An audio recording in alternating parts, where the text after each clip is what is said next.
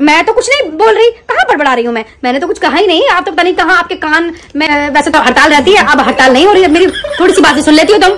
ना कह रही कह रही। हाँ रहता है करता रहता है कह रही है कह रही ही। लूँगी हाँ। वही बता रही हूँ तेरे दिमाग में क्या चल रही है मुझे ना पता लेकिन तूने भाषण में एक हाथ लगा लो और कोई भी तूने ले लो तो मुँह तो बुरा को छूना होगा? बता रही हूँ मुँह तो बुरा कोई ना होएगा। बता रही हूँ तो हाँ। चाहे कुछ भी कहती रहे मुझे कोई फ़र्क नहीं पड़ता। मैं तो डोंगो को ज़रूर यूज़ करने वाली हूँ। इतने टेढ़े मेढ़े बेकार से पड़े हुए कितने सालों के पुराने पड़े हुए मैं तो उन्हें फेंक दूँगी या फिर कबाड़ी को दे दूँगी मैं इनको यूज़ करने वाली हूँ सभी को। जितने भी फालतू के बर्तन है ना मैं सब फेंक देती हूँ हाँ। इनको कुछ नहीं इनका कोई भी यूज़ नहीं है। और कुछ टेढ़े मेढ़े बेकार से बर्तन सबको मैं यहाँ फेंक देती हूँ। तो जी बता मैं जी बर्तन के पन्नी में धर रही है? क्या कर रही है इनको? मैं। एक काम करूँगी ना इनको या तो फेंक दूँगी या कबाड़ी को दे दूँगी। हाँ इनका कोई यूज़ नहीं है टेढ़े मेढ़े बर्तन है सारे बेकार है अच्छे भी लगते देखने में।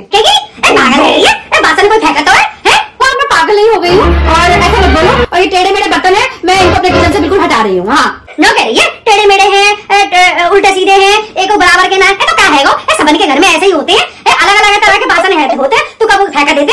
बात बना रही है।